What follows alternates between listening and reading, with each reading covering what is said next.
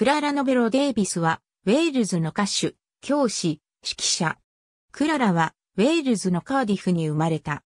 父は、鉱山労働者のジェイコブ、母はマーガレットで、有名なソプラノ歌手のクララ・ノベロにちなんで名付けられた。教会の聖歌隊で指揮をしていた彼女の父は、彼女にハーモニウムの演奏を教えた。クララは1883年10月31日にジム弁護士の事務員をしていたデイビッド・デイビスと結婚した。二人の息子のアイバー・ノベロは俳優、作曲家、劇作家、指揮者として母をしのぐ名声を手にすることになる。また、二人はマリー・ウィリアムズを養子に取り、マリー・ノベロという名前を授かった彼女はピアニストとなったが、30歳で咽頭癌のため、この世を去った。1883年、彼女は、ウェールズ女性合唱団を設立し、同団体は1893年のシカゴ万博、パリ万博で賞を獲得した。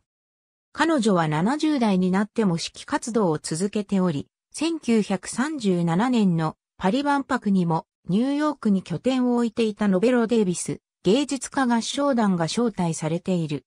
また、この合唱団は第二次世界大戦中に事前基金を立ち上げた。